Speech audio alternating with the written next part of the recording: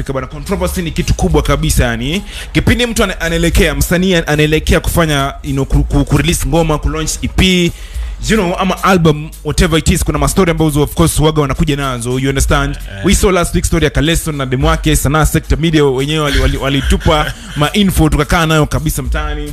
Mbona wewe auchukui direction kama hizi hapa ya kutengeneza kitu? Ndo watu ikuja hivyo hivyo ndo marapap kabisa baadaye sana singo mwenyewe ndo hapa. Launch kumbe ali- ali- alikuwa napanga sisi sisi tufaiti kitu inaitwa famous. Microphone nipe kidogo yani. Si tufami yani famous si tufaiti hiyo tunafaitia queen souls. Okay. Shona mungu ndo anapatia na neema kama ifika wakati wako kujulikana utajulikana tu bro. Okay. Haimaanishi kwamba ufanye scandal ama ufanye kitu fulani ndo ujulikane. Utajulikana tu. Okay. Eh. imba imba imba bro. Imba bro. Mapenzi weka kando kiasi tu. Eh.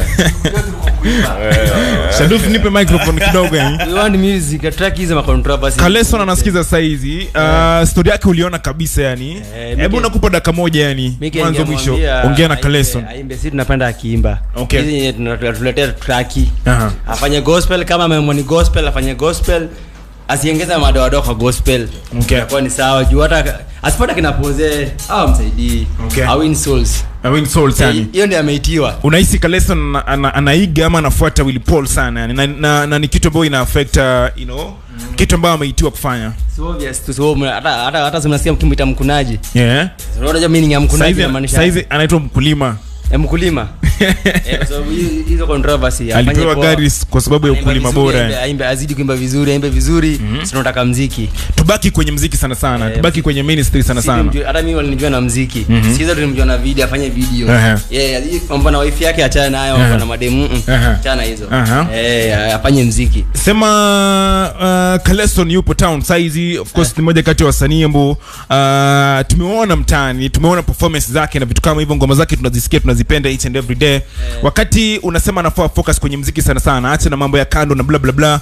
Mambo yake ya kando ina filter gospel kiasi gani? Inafanya wewe kama Shaduf na ya single shizi na msanii yote ambaye anafanya gospel town asiaminike kiasi gani yani? Unajua kinyi iko unajua fans anaanza kuwa dem anaanza Okay. kuwa boy. Mm-hmm. so ile the fact umeenda kupost dem fulani pale kwa, kwa, kwa mitandao. Okay. Hata unakuta sababu unajua wadem wako na wivu unapata mtu anakusupport lakini ataja kukusupport kwa sababu ya vitu kama hizo. Sababu amepostiwa uh, na mtu mwingine Eh, ama bla bla bla kama ni ndoa ni sawa ndoa hata mungu amekubali. Kama ni ndoa post ukishaoa ni sawa. sawa ikaleso na hajaoa eh, ajaoa kwa hivyo acheza chini afanye mziki mungu amsaidie. Eh, mungu amzidishie dhuru mziki yake acha na vitu zingine. Mm-hmm. eh, mimi umeshaiona nikipost. Umeshaiona? Na mimi si niko sawa. Mimi mtu ana shati? Eh.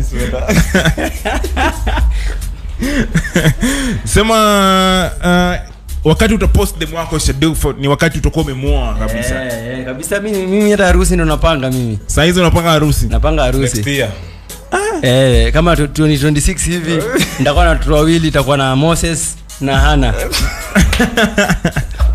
kwa majaliwa ya mungu. Mwenyezi mungu asaidie you know? Eh, anasaidia. Aina noma bana. Sisi tuko tukonja tunasubiri pilau tu tufinye kabisa iende sawa sawa. sema of course hiyo ndio message ambayo of course Shaduf anapitisha kwa Kaleso na vitu kama hivyo. Imekuwa kama ndio the only way ya kusukuma mziki saizi. Unaweza ukasema hiyo na siasa ni vitu ambavyo vinafanya wasanii wakuwe desperate kutafuta njia za kusikizwa ama njia ya ngoma zao kukuwa consumed sana yani what else yani ambayo inafanya msanii ana, ana, ana lose focus mpaka anahisi lazima ni create kitu ndo nikuja na product yangu. Umeona Naiboy na Avril wamebishana wame- from twin one mpaka saizi kumbe they have two new songs you know? Ni kweli. Lazima mtu afanye So- hivyo ndo ngoma iende sana 2020 yani. mimi na believe kazi nzuri najiuzaa yenyewe. Okay. So you don't need those things yenye ati lazima ufanye kitu fulani ndo kashfa fulani ndo julikane. Okay. So kama unajua bro mziki ndo ili- ilikuleta. Fanya mziki tafuta siza kufanyia video noma. Mm-hmm. then from there utaona tu maten- m- m- matokeo tu ikitokea tu yenye iko tu poa wasiona receive kitu yenye iko sawa Okay. wasiona kutambua. Wakina uji watafutaki vitu kama hizo wa- wakina wakina o, o, wa- wakina nani? Wakina guardian angel watafuti mm. vitu kama hizo.